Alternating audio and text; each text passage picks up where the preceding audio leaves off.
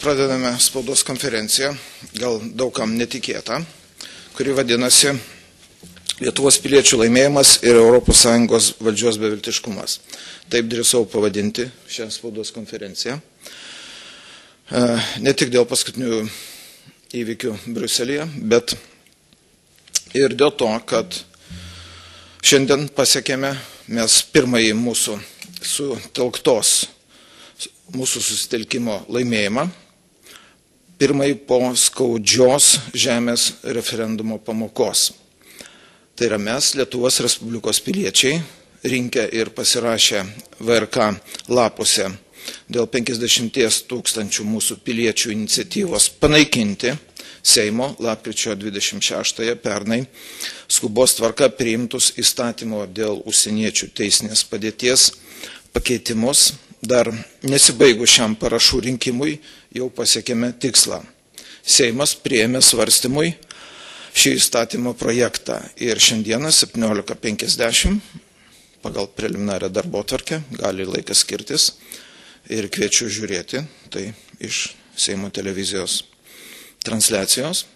Seimo narys Audrius Nakas pateiks į preliminariame, preliminariame posėdėje.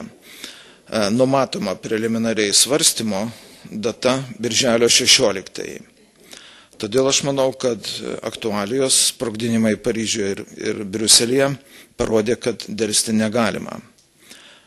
Ir noriu pasakyti, kad be jūsų visų šiai iniciatyvai Birželio trečiosios grupės sutoktų bendraminčių iniciatyvinės grupės parašus rinkusiųjų ir pasirašiusiųjų to nebūtų įvykę. Kaip ir sąjūdžio metais, Tai padarėme drauge su mūsų parlamentu, nors jame bendraminčių nebuvo daug. Panašių būdų ir Lietuvos TSR aukščiausioji taryba, 11 šaukimo aukščiausioji taryba 88-89 metais priėmė, priminsiu, pavyzdžiui, Lietuvų valstybinės kalbos įstatymą, referendumo įstatymą ir kitus svarbius, sutelktomis sąjūdžio žmonių ir tarybinės aukščiausios tarybos deputatų pastangomis. Todėl praėjusiu metu gruodžio 16 dienos Seimo nariai Audrius Nakas ir Valerijus Simulikas įregistravo šį įstatymo projektą, o po konsultacijų jau kovo mėnesį su Seimo seniūnų sueigai pirmininkaujančių Kestučių Daukščių ir pritarus mišiosios frakcijos seniūniai Rimai Baškieniai, šis įstatymo projektas buvo įtrauktas į Seimo plenarinių posėdžių darbo tvarkę kaip opozicijos teikiamas ir privalomai nagrinėjamas įstatymo projektas. Tai yra gerai tuo, kad dauguma neturi teisės blokuoti šio įstatymo projekto. Yra, pasirodo, karts nuo karto tokia galimybė. Jei nebūtų šios mūsų iniciatyvos ir sutelktų mūsų pastangų, vargu ar tai būtume pasiekę anksčiau laiko. Ir didžiulis pasipriešinimas šiai iniciatyvai ir sisteminės žiniasklaidos skleidžiamas melas mus telkia ir grūdina. Tai labai vertinga patirtis pilietinės visuomenės atgimimai. Tiems, kuriems ši žinia netikėta, dar nesibaigė parašų rinkimas, o jau pasiekėme tikslą, noriu nuoširdžiai padėkoti ir paaiškinti, kad šis 50 tūkstančių Lietuvos piliečių parašų rinkimas yra ne dėl referendumo iniciatyvos, kaip visuomenė bando klaidinti Seimo narė Marija Aušrinė Paviljoninė viešais savo rašinėliais, o dėl šio įstatymo projekto svarstymo Seime. Tai ir nutiko, šį rezultatą pasiekėme ir kito šios iniciatyvos rezultato pagal įstatymą būti ir negali. Kas nutiks su šiuo įstatymo projektu jo svarstymo metu, žino tik Seimas. Mes atidžiai seksime šį procesą, diskutuosime dėl jo, dirbsime su Seimo nariais ir Seime ir visus jūs kviečiu dirbti jų rinkimų apygardose. Tuos, kurie skelbs gražias deklaracijas, o darbai Seime jų nepatvirtins, tinkamai vertinsime rudenį Seimo rinkimuose. Ir šių metų kovo 22 dienos įvykiai Briuselėje, pernai Paryžiuje, parodė, kad neturime teisės apsimesti, jog nesuprantame, kas vyksta. Kad vyksta organizuotas, masinis, neteisėtas imigrantų perkelimas į Europą ir dirbtinis chaoso kūrimas. Paryžiaus sprogdinimų dalyviai iš Briuselio žinomi kovotojai Daesh gretose Sirijoje turėjo leidimus gyventi Belgijoje. Ir visą tai žinojo visos valdžios, visos spets tarnybos. Ar reikia dar kažką komentuoti? Taigi, Seimo nariams Audrinako ir Valerijui Simulikui įregistravo šį įstatymo projektą. Paaiškėjo, kad Seimas pernai lapkričio 26-ąją priėmėsi minėtus įstatymo dėl užsieniečių teisinės padėties pakeitimus, buvo paprasčiausiai apgautas. Štai įstatymo pakeitimus Seimo kanceliarijos teisės departamentas aiškino ES direktyvų priimtų iki 2004 metų įgyvendinimo. Tačiau Teisingumo ministerijos išvados dėl mūsų įstatymo projektų, kurio norime panaikinti šias pataisas, išdavė tikruosius tikslus. Įstatymas e, lapkričio 26 pernai pakeistas pagal 2013 metų birželio mėnesio Europos parlamento ir tarybos nutarimus, kuriais siekiama ne tik suvienotinti ES šalių piliečių, ir didelio kiekio neteisėtų imigrantų teises, bet ir sudaryti jiems šiltnamio sąlygas. Vien nelegalų teisės meluoti apie save įteisinimas, dokumentų išdavimas pagal jų žodinius paaiškinimus ir mūsų atsisakymas tikrinti duomenys apie juos jų kilmės šalise, ar tai dar reikia ką nors komentuoti po tokių įstatymo pataisų, parodo, kokie tikrieji ES iniciatyvos tikslai. Net tokiais atvejais, jei jiems suteikiame prieglopstį, sveikų protų ir demokratinėmis kabutėse vakarų vertybėmis tai nepaaiškinsi. Tie, kurie šią Europą greunančią provokaciją ruošė dar 2013 metais, tai yra praėjus dviejams metams po Sirijos karo pradžios, puikiai žinojo, ką daro. Paklodės dydžio išplauto turinio ES direktyvų prieimimas Europos parlamente ar paskirtų, tai yra niekino nerinktų komisaro Europos komisijoje, vyksta tik parodijuojant demokratiją ir vaidinant aukšto lygio kabutėse vadovus. Šie ES vadovai šiuo metu vasario 15 dieną pranešė, kad Europos komisija dalyvau šių metų homoseksualų parade per Europride renginį Amsterdame Liepos 23 rūpiučio 7 dienomis. Europos komisarų valtis bus viena iš 80 homoseksualų judėjimo simbolika papuoštų valčių plauksinčių šiame parade. Tai jie moka daryti. Mūsų visų pinigus be audito skirstyti, jie taip pat moka. Ir auklėte mus, kad nesuprantume jų vertybių kabutėse. O po kovo 22-osios ES sostinė vadinamėme sprogdinimu. Šie ES vadovai tesugebėjo uždaryti Europos komisijos, Europos parlamento pastatą ir viešai spaudos konferencijoje paverkti. Lietuvos prezidentės nuomonės apie šios įvykius tą dieną taip pat neišgirdome. Jei mes, Lietuvos Respublikos aukščiausiosios tarybos deputatai, 91 metų sausio 13 naktį būtume uždarę šią aukščiausiąją tarybą, o ne priiminėję mūsų atkurtai valstybei gyvybiškai svarbius sprendimus, jei tokie deputatai kaip Gediminas Vagnorius ir Zigmas Vaišvila tą naktį būtų sugalvoję paverkti spaudos konferencijoje ir neprisimti atsakomybės dėl vyriausybės ir valstybės likimo, nežinodami, kas nutiks jų šeimoms ar vaikams po valandos kitos, šiandien drasi kabutėse mūsų Lietuvos valdžia neturėtų galimybės sėdėti bokseriuose ir skirstyti mūsų ir ES pametėjimas lėšas, drausti kitą nuomonę Lietuvos televizijoje ir radijoje. Taip elgesi bailiai. Todėl ši mūsų pilietinė iniciatyva yra tokia baisi jiems. Blogiausiame sapne nesusapnavęs, kad po sausio 13-osios išbandymų Lietuva vėl turės tokią beviltišką valdžią, sugebenčią tik vykdyti centro nurodymus ir drąsiai kabutėse mus vesti į karą. Ir visiškai nesvarbu, kokią formą pasireikš karas. Aišku, tik viena, po šio laikinio karo vargu ar beliks kas iš mūsų tautos šioje jau be baigiančioje įsivaikščioti Lietuvoje. Sausio 13 naktį, jeigu jau minime tą dieną, iš amžinatilsi Jadvygos Beliauskinės, čia šitame pastate, iš kurios naktis spruko ne vienas didis patriotas, gavau iš varkė nešiojusi šventintos duonos trupinėlės, suviniotos į aliuminio foliją. Tai buvo ne tik amžinatilsi Jadvygos ar mano mamos 91 metų sausėje kasdien su sojudiečiais iš Šiaulių, atvykdavusios būdėti prie aukščiausiosios tarybos ir dešimtmečiais man apie tai net nepasakojusios. Iš visai man apie tai nepasakojo. Mm, noras, jų abiejų noras apsaugoti ne tik tai mane, bet šių dviejų moterų, motinų noras matyti laisvą ir kraujo, kraujo nelaistančią Lietuvą.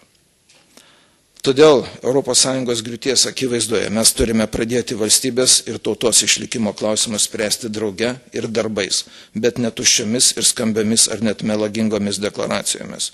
Ši pilietinė iniciatyva gera pradžia. Gerbiamas Arai Sutkau, Liaudės partijos vienos pagrindinių šios akcijos rinkėjų vadovas. Jūsų žodis. Dėkui Zigmai už gerą žodį. E, nenoriu prates tokios liūdnos tradicijos, bet vėlgi turbūt paprašysiu pagerbti tylos minutę e, žuvusius Bruselėje žmonės.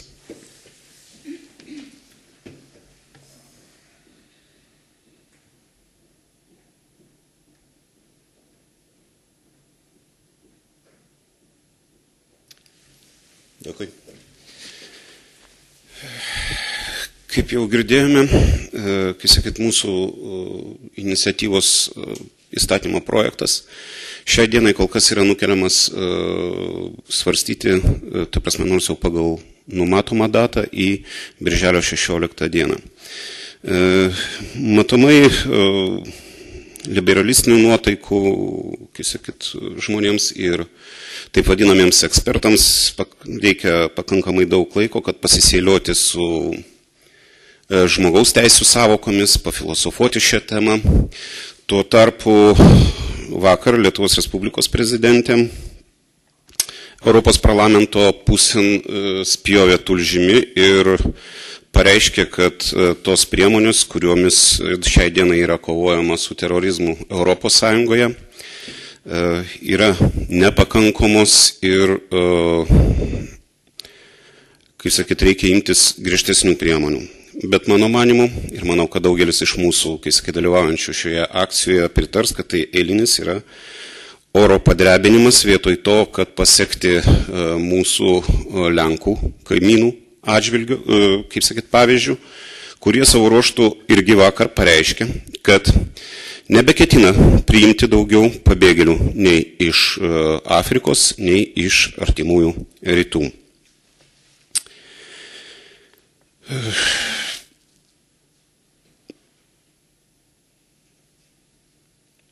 Atsižvelgiant į tai, kad e, kaip ir, e, o priežastis, e, ta prasme, sprendimas pats buvo priimtas greičiausiai remiantis tom, kad irgi vakar Turkijos prezidentas Erdaganas, ponas Erdaganas pranešė apie tai, kad tie žmonės, kurie įvykdė teroristinius aktus, teisingiau vienas iš tų žmonių, kuris įvykdė teroristinį aktą Briuselėje, savo laiku buvo sulaikytas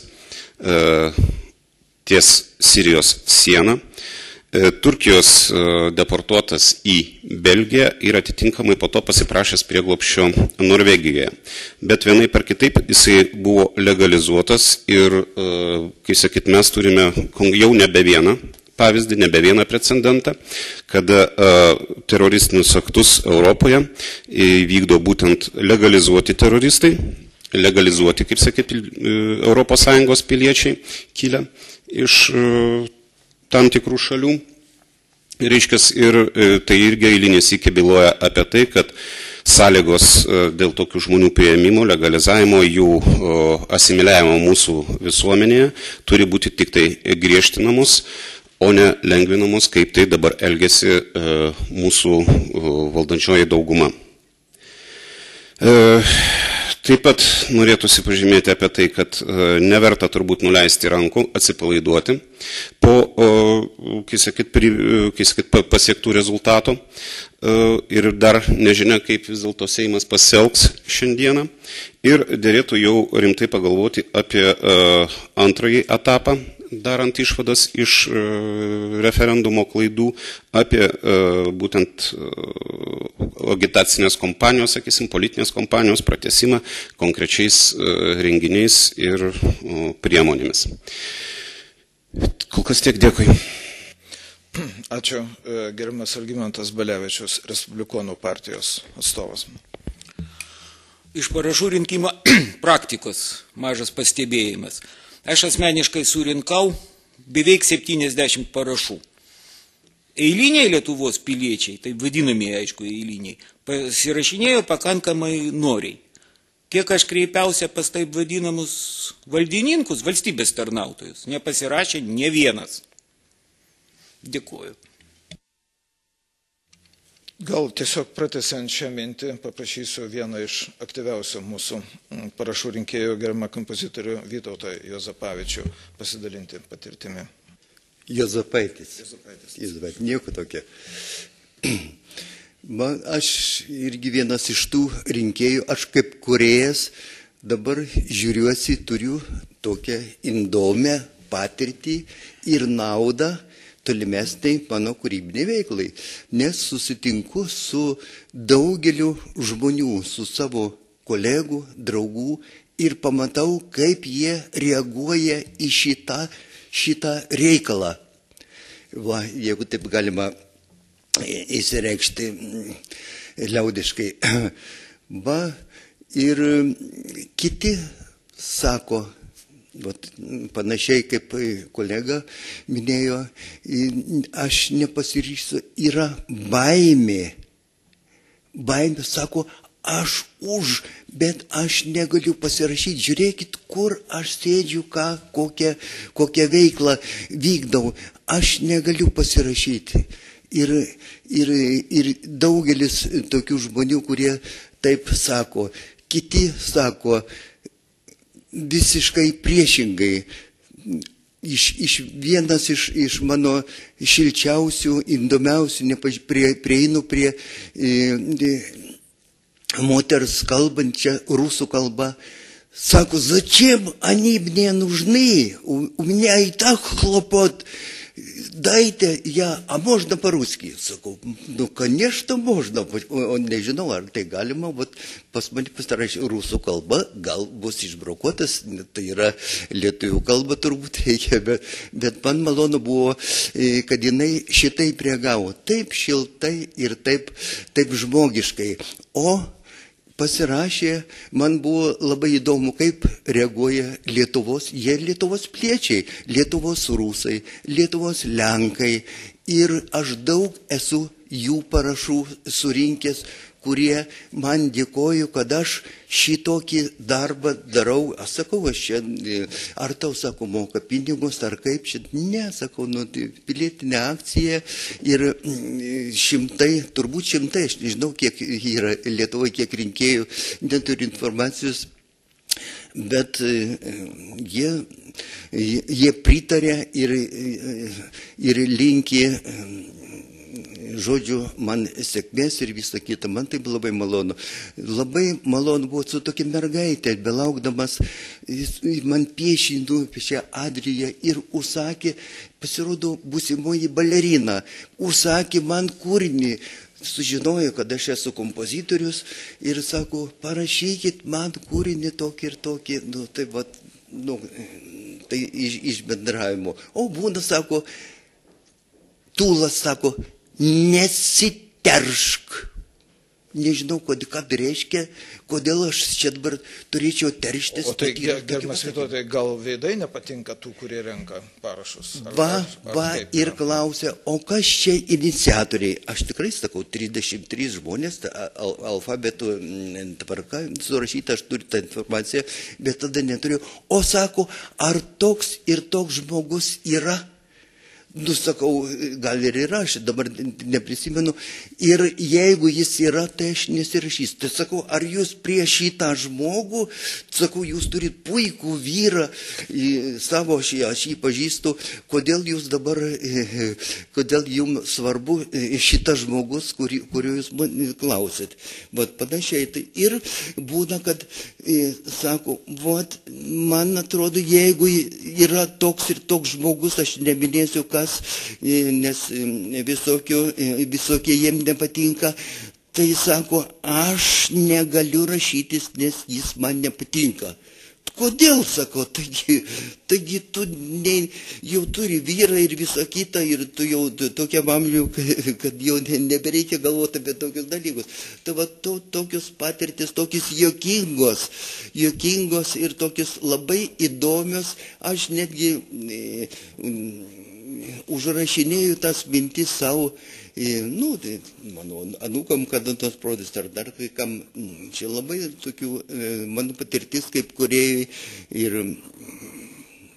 aš dėkoju, kad jūs mane įtraukite. Dėkui gerbiamas Vytautai už jūsų triusą ir, ir, ir pavyzdį.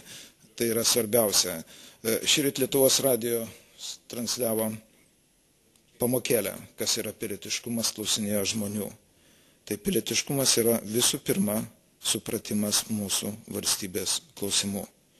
Patinka, nepatinka Aras, e, Gedrius Kohanka, koordinatorius, kompozitorius Vytautas Zapaitis, Zigmas Toks Vaišvila, Algymantas Balevičius, partijos pavadinimas nepatinka.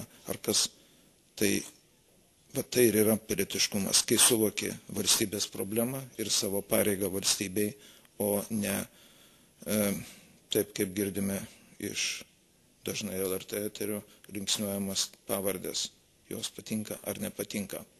E, gerbiamas Gedriu, Gedrius Kohanka, mūsų akcijos koordinatorius. Labas rytas. E, trumpai aš tiesiog informaciją parašų rinkėjams pateiksiu ir, ir galėsime užbaigti šitą konferenciją. Ta prasme, aš noriu, kad visi suprastumėt, kas įvyko. Iš esmės įvyko tai, kad mes savo tikslą pasiekėme. Šiandien Seime yra svarstomas e, pirminiai stadijoje, patikimo stadijoje mūsų, siūlo, mūsų siūlomi įstatymo pakeitimai. Akcija toliau vyksta, tačiau per savaitgalį iniciatyvinė grupė priims vienokį ar kitokį sprendimą, priklausomai nuo to, kaip šiandien reaguos Seimas į šitą pateiktą įstatymą, priims vienokį ar kitokį sprendimą dėl tolimesnės akcijos tikslingumo. Tai dabar kol kas e, viskas vyksta taip, kaip vyksta ir tiesiog rinkit parašus. Jeigu trumpai, kadangi jau trys ketvirtadaliai akcijos prabėgo, galiu trumpai pasakyti ta, tam tikras techninės detalės. Iš esmės akcija vyko labai sklandžiai, nu, nepaisant pradžioje kai kurių techninių sklandumų, viskas buvo gerai. Vienintelė problema, kurios iš tikrųjų nepasisekė išspręsti ir gaunu daug nusiskundimų ir nu, tiesiog jos nepavyko išspręsti, tai yra elektroninis balsavimas ir e, jeigu mes organizuosime kažkokias kitas akcijas, e, nu, reikės ieškoti kito sprendimo, kito varianto, kaip visgi organizuoti elektroninį pasirašymą. Tai tiek žinių ir manau, kad galėsime baigti jau šiandien. Tai baigiant, e, noriu padėkoti ir pranešėjam ir akcijos dalyviam, visiems, ir kurie rinko, ir kurie pasirašė, nes tikrai kiekvienas, ypač valdiškame darbe, turėjo įveikti tą psichologinį barjerą. Ir tai yra tikroji pilietiškumo pamoka. E, dabar netrukus užleisime salę konservatorių e, labai svarbiai iniciatyvai dėl alkoholio vartojimo Lietuvoje. O noriu atkreipti dėmesį, kad tie, kurie štai mus girdi, mato, Noriu atkreipti dėmesį, kad 10 val. šioje spaudos konferencijoje bus pateiktas e, politinių partijų susitarimas. Aš nežinau jo turinio, todėl kviečiu dar palaukti, pažiūrėti 10 val. Politinių partijų susitarimas pre, dėl preliminarių gairių, jeigu teisingai taip suprantu, e, pabėgėlių klausimų. Seimo frakcijų dalyvaus atstovai, todėl kviečiu ir 10 val. sulaukus padiskutuoti ir su jais ir čia. Tai ačiū dar kartą uždėmesi ir, ir matom ne tik mūsų nesisteminė žiniasklaidos gerbima Vaida Jozapaitytė, bet ir matome dar ir nežinau kokios žiniasklaidos, gal šiek tiek sulauksime dėmesio daugiau. Tai ačiū ir noriu palinkėti sėkmingo darbo Seimui, kuris, manau, supranta atsakomybę dėl valstybės. Дякую.